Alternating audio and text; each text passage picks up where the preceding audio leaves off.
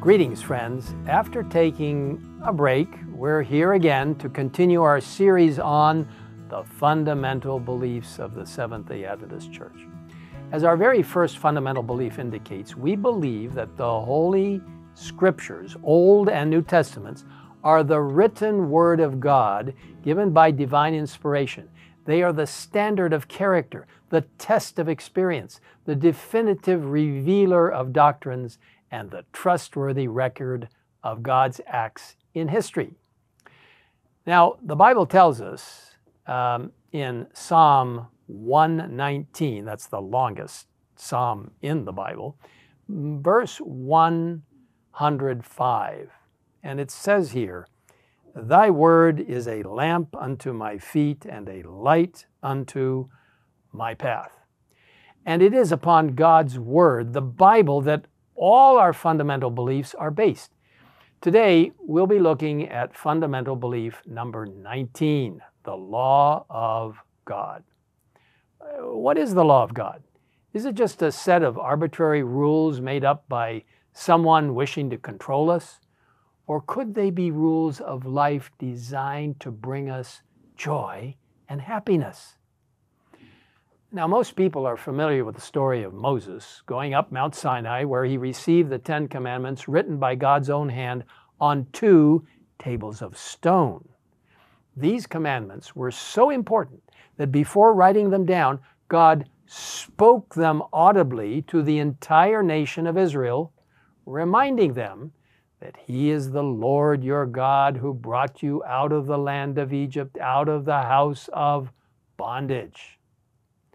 And yet, God's law existed long before it was written upon the tables of stone. In fact, it has existed since eternity and is a transcript of God's character of love. In summary, the first four commandments describe how we show our love to God. Number one, you shall have no other gods before me. Number two, you shall not make for yourself any idols. Number three, you shall not take the name of the Lord your God in vain. And number four, beautiful commandment. Remember the Sabbath day to keep it holy. And the following six commandments describe how we show love to our fellow human beings. Number five, Honor your father and your mother. Number six, you shall not kill. Number seven, you shall not commit adultery. Number eight, you shall not steal. Number nine, you shall not bear false witness against your neighbor. And number 10, you shall not covet. You see, friends, here we have God's 10 brief yet comprehensive, authoritative precepts that unlike human laws, which only regulate outward behavior, go much deeper, revealing what is in our hearts. Ellen White writes, There is not mystery in the law of God. All can comprehend the great truths which it embodies. The feeblest intellect can grasp these rules. The most ignorant can regulate the life and form the character after the divine standard. Our Seventh day Adventist fundamental belief, number 19, describes the law of God like this The great principles of God's law are embodied in the Ten Commandments and exemplified in the life of Christ. They express God's love, will, and purposes concerning human conduct and relationships and are binding upon all people in every age.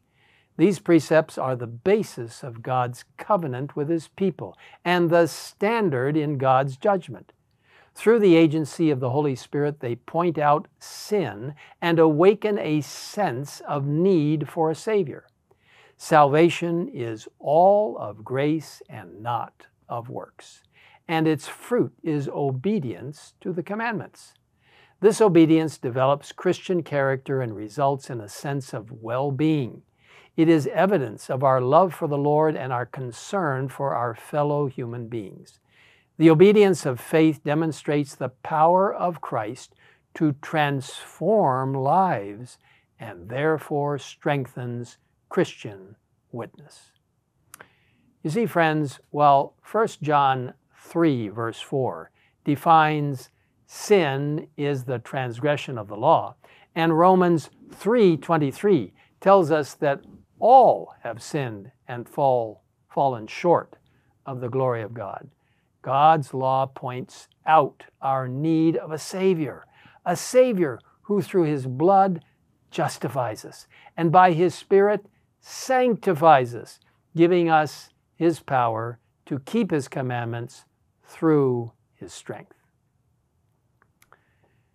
We love him because he first loved us. We read in 1 John 4:19.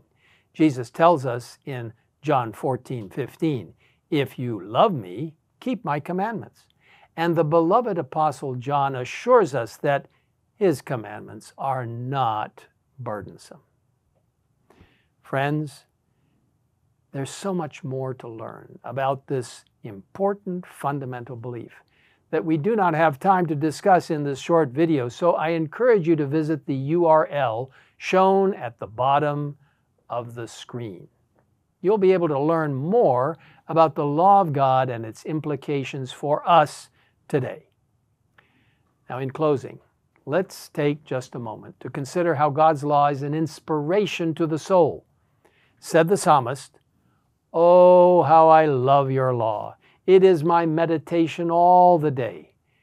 I love your commandments more than gold, yes, than fine gold. Even when trouble and anguish have overtaken me, he said, Your commandments are my delights. You see, friends, God gave His law to provide people with abundant blessings and to lead them into a saving relationship with Him. Let's thank God for the incredible gift He offers through His justifying and sanctifying power as revealed in His eternal law of love. Let's pray together. Father in heaven, we come to you thanking you for the eternal law that has been throughout eternity, has been codified on tables of stone and we have them in our Bibles today to remember what life should be as we commit ourselves into your hands. Thank you for the justifying power of Christ. Thank you for the sanctifying power of the Lord and the Holy Spirit. We ask that you will help us to remember that the law of God is your transcript of your character and your character is love. Thank you for hearing us. In Christ's name, amen.